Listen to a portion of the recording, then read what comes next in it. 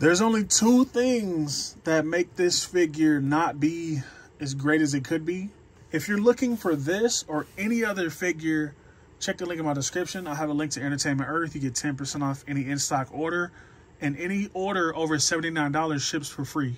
So if you have five figures in that order, each of those figures ships free no matter when it ships. Also, if you're looking to get into customizing, I do have an ebook available. It is 18 pages of just pure information on customizing. It'll go over the tips, the tricks, the tools. Anything you need to get started is in that book. Link is in the description. One being an angry head sculpt. That would have been nice to see a yelling head. Would have been nice. Also, they need to implement a crunch here. I'm not sure why they're not doing it, but female figures need that. They need that this plus the crunch. Let's take a look at the details on this figure though, because it's phenomenal. I'm not going to lie to you. Starting with the face sculpt, it looks really good. That face printing tech they're using is working out great. I love the green like dry brush on the hair. I think it looks great. This figure just looks so good. Like it's not even funny. Like it's not even it's not even in the realm of things I thought Hasbro would be doing at this point. But I'm glad that they are. I got a little little schmutz right there. But the paintwork is pretty basic. It's uh, it's what it needs to be to be a She-Hulk figure. I believe she just had a purple jumpsuit and then the white bands. Boots too. Again, I wish they put that swivel down lower just to not break up the sculpt because that looks weird. I feel like it looks more natural if it's swiveled down here. But this looks great. Details look great. Everything about this figure is really good. For accessories, she only comes with these two open hands. I'm not is not really sure what more she could have came with. But they did throw in this piece right here. It's like a broken gun. This is really nice. This is something I like to see from Hasbro. Just to throw in stuff that could accompany the character that's fitting for the character. And this is nice. It makes it looks like it makes it look like oh yeah, these also come off with the arms, with the hands. So you pop the hands off, you can take these off. So like if you wanted to paint it, like I saw somebody paint this green, like them they matched it just so she would have not armbands. You can do that. I think this accessory is fun because you can do things like this.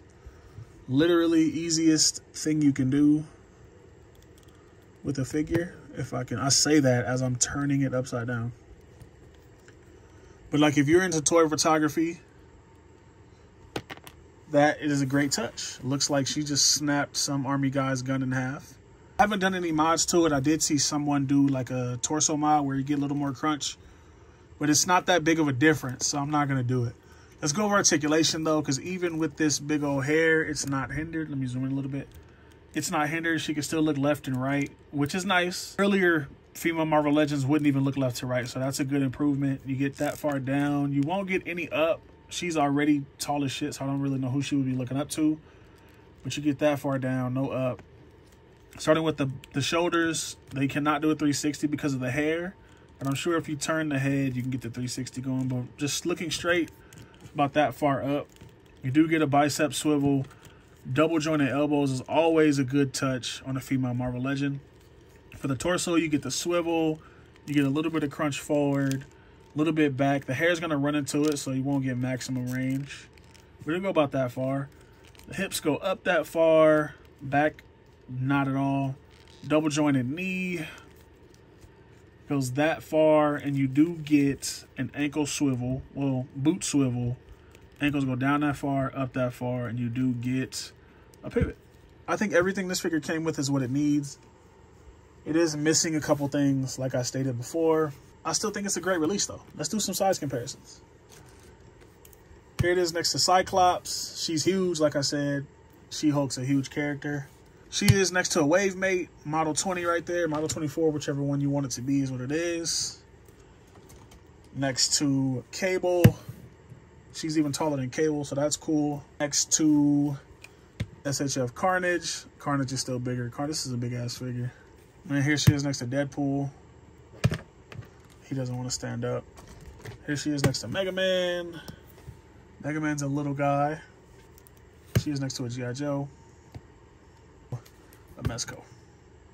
So yeah, She-Hulk is a pretty good figure. It's not bad at all.